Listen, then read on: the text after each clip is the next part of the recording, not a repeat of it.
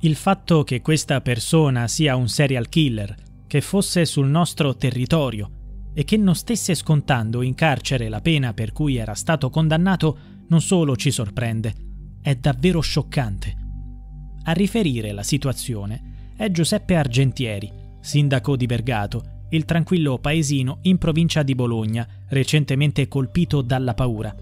I giorni scorsi sono stati segnati dall'aggressione a un agricoltore di 65 anni, ora ricoverato in gravi condizioni dopo essere stato accoltellato nel giardino di casa sua.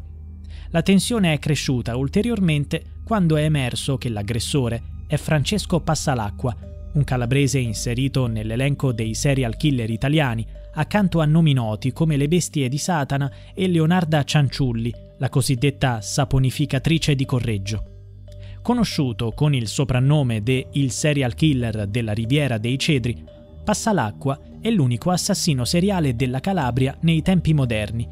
Tra il 1992 e il 1997 ha insanguinato il territorio del Cosentino con quattro omicidi, per i quali è stato condannato all'ergastolo. In carcere, però, ci è rimasto soltanto una ventina d'anni.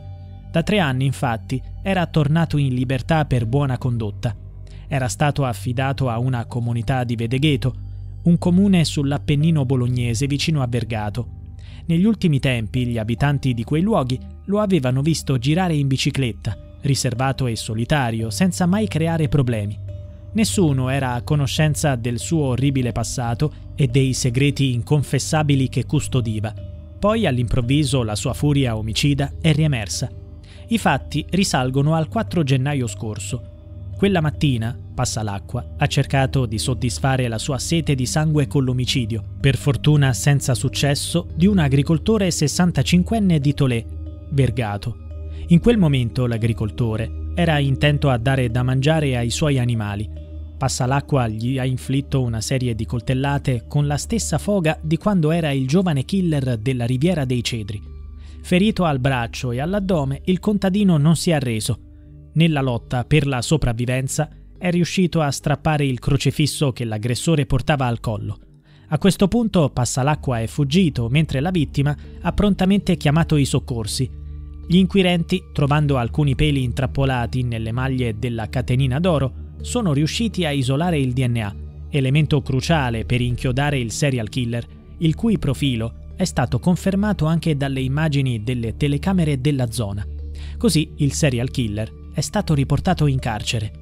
Il tentato omicidio del 65enne conferma l'ossessione di Passalacqua per i contadini e pastori di età compresa tra i 50 e i 70 anni, che sono sempre stati i suoi bersagli, a eccezione del primo omicidio, quello di Mario Montaspro, un autotrasportatore di 45 anni ucciso a Scalea, nel Cosentino, nell'aprile del 1992. All'epoca il giovane assassino di soli 24 anni era entrato nella sua casa e lo aveva lapidato con un grosso blocco di cemento, frantumandogli il cranio. Gli investigatori stabilirono che Passalacqua aveva attirato la vittima al bar quella sera, notando un mazzo di banconote nel portafoglio dell'uomo. Successivamente si era introdotto nella sua abitazione con l'intento di rubargli i soldi. La scoperta del corpo fu effettuata da una vicina allertata dai familiari di Mario, incapaci di mettersi in contatto con lui. La sorella, Maria Montaspro, ha raccontato in un'intervista. Avevamo delle camicerie. Quel giorno mio fratello avrebbe dovuto caricare il camion, ma non rispondeva al telefono. Pensavamo si fosse addormentato. Abbiamo chiamato una vicina di casa e quando ha aperto la porta lo ha trovato morto nel letto. Per questo omicidio Passalacqua fu condannato a 24 anni ma sorprendentemente fu rilasciato dopo appena cinque anni. Il 16 marzo 1997 Passalacqua ritornò a uccidere. Mentre si aggirava per le strade di Marcellina, scavalcò il cancello di una casetta di campagna e colse di sorpresa Salvatore Belmonte, un agricoltore di 59 anni. Senza alcuna pietà, soffocò la vittima schiacciandola con il piede sul collo fino a quando il contadino cessò di respirare. Prima di lasciare la casa, si impossessò della pistola della vittima. Il 16 aprile dell'anno successivo utilizzò quella stessa arma per assassinare il pastore Francesco Picarelli, ritrovato riverso nel sangue nelle campagne isolate di Verbicaro.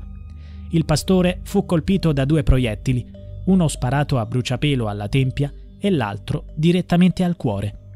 Il 28 aprile, quando il pensionato Vito Michele Rea fu ritrovato ucciso con tre colpi d'arma da fuoco al volto, gli inquirenti compresero che i casi erano correlati, poiché i bossoli erano compatibili. L'attenzione si concentrò su Francesco Passalacqua, che si era trasferito da Scalea a Verbicaro proprio nel periodo in cui si verificarono gli omicidi. Una conversazione intercettata, in cui il suo nome veniva menzionato, insieme a testimonianze che lo avrebbero visto nella zona di uno degli omicidi, ha acceso i riflettori sul suo coinvolgimento.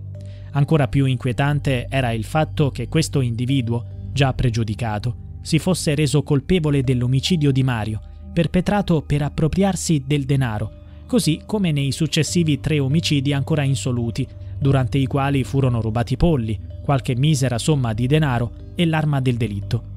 Per gli investigatori non poteva esserci dubbio. Francesco Passalacqua sembrava essere il misterioso assassino che seminava terrore nella zona. Da lì gli approfondimenti sulla sua persona e qui l'indagato commise un grave errore. Fornì un alibi falso erroneamente convinto che i militari non avrebbero verificato la sua versione. In tal modo tradì se stesso e quando i carabinieri rinvennero una pistola dello stesso calibro di quella utilizzata nei delitti presso la residenza del padre del sospettato, scattò l'arresto.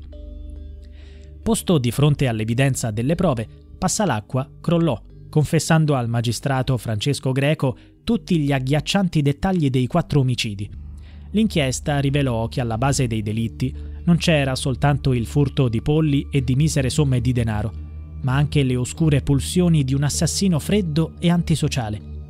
Questa fu la definizione che gli assegnarono i medici incaricati dal tribunale di eseguire la perizia psichiatrica, al fine di valutare la sua capacità di intendere e di volere. La valutazione clinica certificò che il killer soffriva di un leggero disturbo cognitivo, ma era comunque in grado di affrontare il giudizio. Le sbarre della prigione si chiusero dietro di lui, dando inizio a un periodo di oblio che durò un ventennio.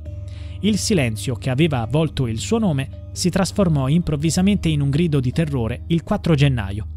Attualmente sono in corso verifiche su altre morti violente rimaste impunite nella zona del Bolognese, al fine di stabilire se dietro a quelle vittime si celi l'ombra dello stesso assassino.